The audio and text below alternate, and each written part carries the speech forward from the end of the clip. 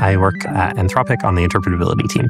Interpretability is the science of understanding these AI models from the inside out. Researchers like me are trying to figure out what the networks learned and how they do what they do. It's almost like doing biology of a new kind of organism.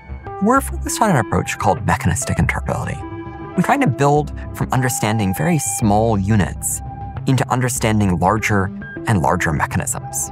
It's often surprising to people that we need to go and do interpretability at all, that we don't understand these systems that we've created. In some important way, we don't build neural networks, we grow them, we learn them. It's a lot like evolution. It's a lot like the way that we started with little molecules bouncing against each other, and then you got very basic proteins, and then maybe you got cells. And in the end, you have, well, you have us, right? But no one designed us to make sense just every generation, there's this grand progression of refinement and change over time. The models are the same way. We start with a kind of blank neural network. It's like an empty scaffold that things can grow on.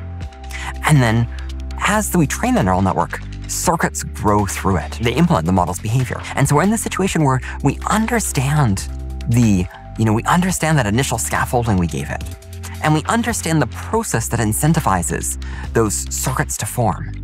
But we don't know what those circuits are, or what they do, or how they work. Turns out that's challenging because the circuits get packed very densely. And if you want to understand them, you sort of need to pull apart those overlapped pieces. And so if we want to understand neural networks, we're then left with this challenge of, of going and studying this thing that we grew rather than something that we designed from scratch a child can pass a test at school because they actually learned like the material, or they can pass the test uh, because they cheated. As the model developers, both of those look like uh, the same outcome.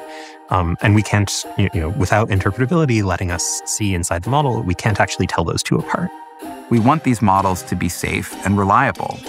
By studying how they work inside, by doing this kind of model biology, we can do some kind of model medicine that can diagnose and cure what ails it and help it do what it's trying to do. The power of interpretability is that it gives us a different lens to go in and ask that question, to go and see potential problems. You could imagine developing techniques to steer models towards uh, uh, towards the correct behaviors. But if we actually understood all the nuts and bolts, um, then it seemed you know it seems like we ought to be able to intervene in ways that change what they do. AI is at a really interesting moment in its development where we've figured out some things that work, but we don't know the limits of that. And we're just beginning to even find the right words to talk about what's happening. The early 1900s, this like uh, golden age of physics where sort of you know quantum mechanics was discovered and special relativity and general relativity and we like finally could understand things about solid state physics um, and things like all of a sudden we're starting to make sense and it feels like we're sort of speedrunning that right now in interpretability the exciting part is is it's just